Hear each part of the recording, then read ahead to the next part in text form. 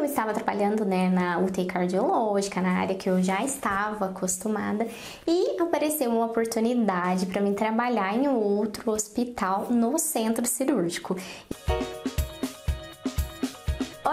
Gente, tudo bem com vocês? Estou passando aqui hoje para gravar mais um vídeo para contar hoje para vocês um pouquinho da minha experiência no novo hospital, nessa nova função, como que tá sendo aí para mim passar por esse desafio. Eu tô um pouco sumida aqui essa semana porque aconteceram muitas coisas, né? Para quem não sabe, eu estava trabalhando aí em dois hospitais, fiquei mais ou menos umas duas semanas trabalhando em dois até vencer o meu contrato no hospital que eu estava anteriormente. Então, assim, eu estava trabalhando à noite e à tarde, então tava bem corrido para mim, então eu não consegui gravar muitos vídeos, mas agora eu vim aqui gravar esse para vocês para contar como que tá sendo essa minha experiência, né? Deixar vocês a par de tudo que tá acontecendo. Para quem não me conhece, né, meu nome é Angélica, sou técnica de enfermagem e eu criei o Vivências de Enfermagem pra gente trocar experiências no nosso dia a dia. Mas antes de começar o vídeo, eu quero deixar para vocês aqui é um convite para você participar do nosso grupo do Telegram, do WhatsApp, do Facebook. Eu vou deixar o link aqui na descrição do vídeo, tá? Só que o nosso grupo do WhatsApp, ele tem poucas vagas, então corre lá. Bom, gente, eu estava trabalhando, né, no hospital de concurso, que foi emergencial por conta da pandemia era um contrato aí de três meses, podendo ser renovado por mais três, mais nove meses. E eu estava trabalhando né, na UTI cardiológica, na área que eu já estava acostumada, e apareceu uma oportunidade para mim trabalhar em outro hospital no centro cirúrgico.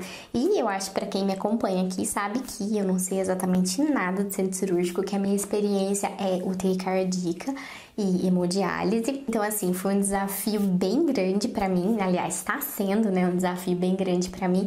Então, eu decidi por não renovar o contrato, né, nesse concurso emergencial que eu estava, por conta, né, que eu não queria ficar em dois hospitais, porque eu já trabalhei em dois hospitais, eu sei o quanto é cansativo, então eu optei, né, por sair dele, então tava esperando aí vencer o meu contrato. Agora eu vou ficar somente um nessa nova experiência de centro cirúrgico.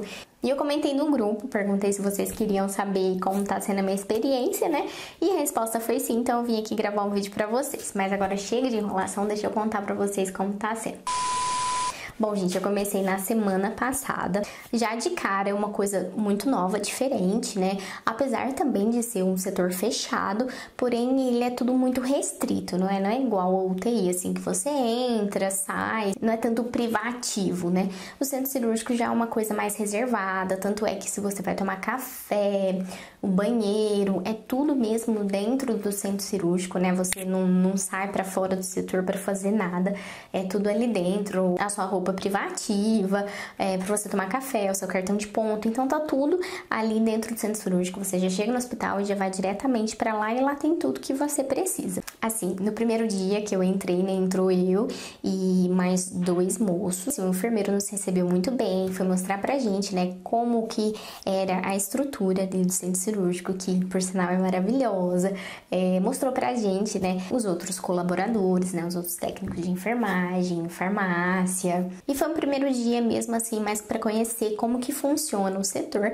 E, né, depois ele me deixou, ele deixou cada um em uma sala com uma técnica de enfermagem.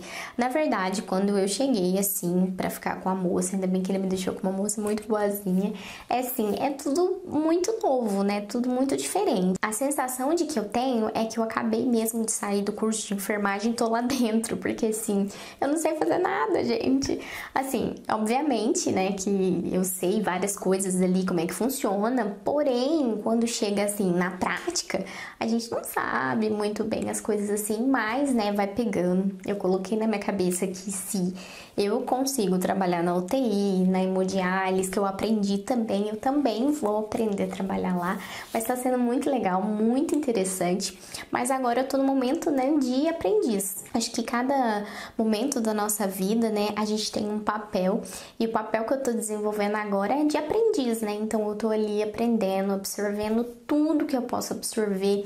Então assim, já é até uma dica para vocês, quando vocês forem pro estágio, até no seu primeiro emprego, pergunta gente, eu sempre falo isso tudo para vocês. Pergunta tudo que vocês puderem perguntar, absorva tudo que vocês puderem, para vocês aprenderem. Eu já tenho meu caderninho de anotação aqui, gente, ó, tá cheio de coisa, ó que eu tenho, anotei um monte de coisa, tá cheio de coisa para me estudar. O sistema eu já anotei aqui passo a passo para me aprender como que funciona. Aí lá, né, tem as gavetas que tem os materiais ali de centro cirúrgico. Eu já abri 300 vezes aquelas gavetas para saber o que que é as coisas. Assim, obviamente que tem várias coisas que eu já conheço, né? Tipo, é, lâmina, compressa, gás, essas coisas assim, né? Sonda, abocate e tal. Mas assim, a gente precisa saber onde que tá cada coisa. Tem umas coisas ali que eu vi e que eu falei, hum, não sei para que que serve, eu anotei para mim poder estudar. O que que foi, Telzinho? Vem aqui, deixa eu mostrar você. Gente, o meu bebê ele quer aparecer, ele tá somando, ele quer aparecer. Fala oi pra câmera, fala oi gente, oi pessoas. Eu quero aparecer no vídeo, a minha mãe não quer. Hum? Então, assim, gente, eu tô absorvendo o máximo de conteúdo que eu consigo. E agora já faz uma semana, né, que eu tô lá. Então, assim, eu já comecei a ficar sozinha na sala, né? Obviamente, ele tá me deixando, assim, em salas bem tranquila, em plástica, em coisa, assim, mais simples, mais tranquila até eu pegar o jeito, né? Porque eu não tenho experiência ainda. Mas, assim, qualquer coisa que eu não sei ali, eu abro a porta do corredor, falo, fulano, vem aqui, me ajuda, como é que faz isso? Porque, gente, é só assim que a gente vai aprender. Óbvio, dá um frio na barriga danado de te pedir alguma coisa, você não saber onde que tá, como que funciona, o que que é mas calma, respira, a gente consegue. Igual eu falei pra vocês, eu coloquei na minha cabeça, se eu aprendi hemodiálise, se eu aprendi a trabalhar numa UTI, eu também vou trabalhar no centro cirúrgico. Mas assim, é, eu tô gostando bastante, uma experiência muito nova, diferente, né? Porque você não tem contato assim tão diretamente com o paciente como dentro da UTI, né? Porque dentro da UTI você tá ali no cuidado como um todo com o paciente, né? Sinais vitais, higiene, medicação. E no centro cirúrgico você vai lá, você coloca o paciente e tal, e depois você fica mais ali nos bastidores. Acabou a cirurgia, você leva o paciente embora, não tem tanto esse contato, né, que tem na UTI, na hemodiálise também, né, tem um contato maior ali com o paciente, porque você fica monitorando a diálise ali por quatro horas, vendo sinais vitais e tal. Então, assim, é bem diferente, tá sendo uma experiência muito nova, tô gostando bastante, né, estou dando o meu melhor pra conseguir passar passar na experiência e eu peço, gente, que vocês torçam por mim. então é isso aí, gente. Eu vim contar aqui para vocês um pouquinho, né, como que tá sendo esses dias aí da minha vida.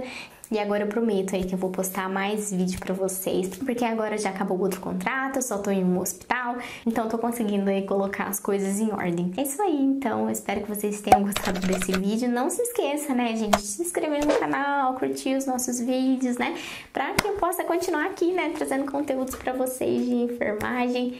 É isso aí, um beijo e até mais.